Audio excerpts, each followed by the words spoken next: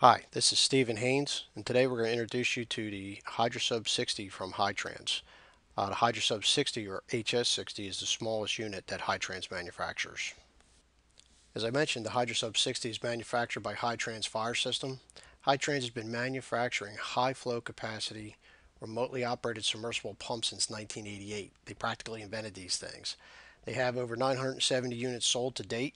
This is uh, August 1st of 2017, and they expect their 1,000th unit to roll off the production line by the end of the year or very early in 2018.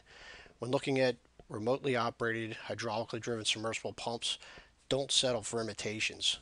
Go with the pros, Hytrans Fire System.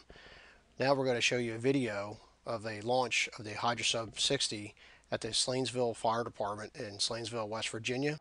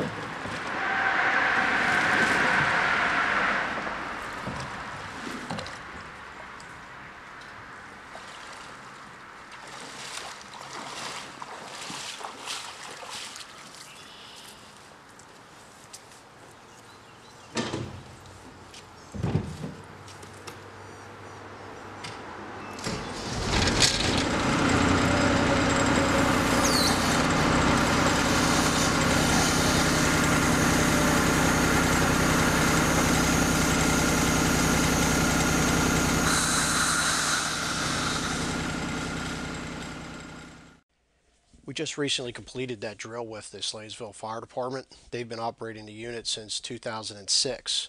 Uh, theirs is an older vintage model built in 2002, but they've had it in service since 2006. I love that video because it just shows the essence of how simple these pumps are to operate. The uh, unit has about 98 feet of hydraulic cable or hydraulic hose which feeds the uh, pump from the power unit in the back of the truck. That means any water that's within 98 feet of the truck can be utilized, whether it's horizontal or vertical. There's no priming required, and it's very simple to operate. Start the pump, rev up the throttle, and away you go. Uh, if you can't train someone to operate that pump, they're probably not teachable. You need to move on to somebody else.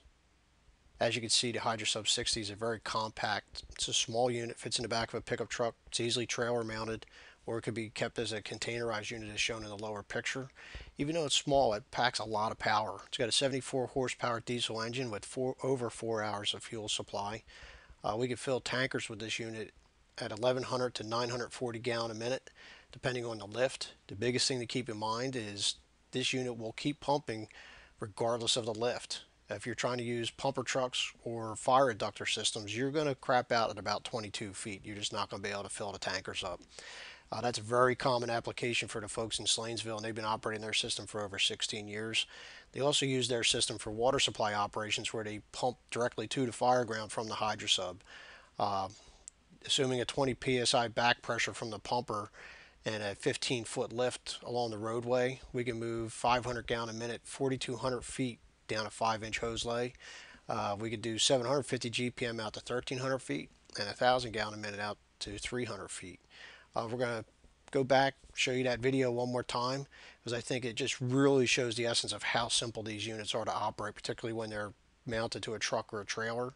Uh, the other thing to keep in mind, I don't think the time shows up in here, but if you time it, it's a minute and 30 seconds from the time the uh, firefighter starts to pull the unit or the pump unit out of the back of the truck and he has water flowing.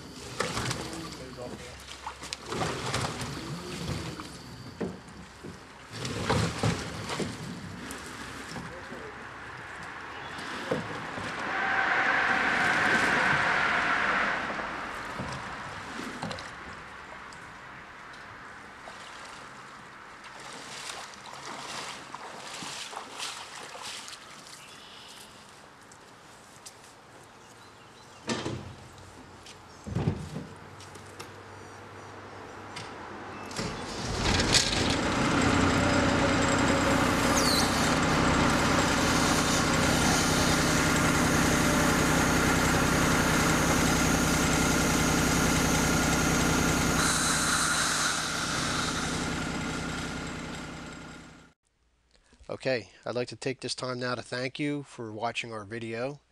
If you need any more information about the HydroSub 60 or any other units in the HydroSub line, please give us a call. Uh, all my contact information is listed below. If you're seriously looking at the remote operated submersible pump equipment, keep in mind that Hytrans has over 970 of these units built to date. Nobody out there can touch them in regards to the amount of experience and the number of units built to date. Uh, they are the pros at this. Don't settle for imitations. Give us a call. Take care.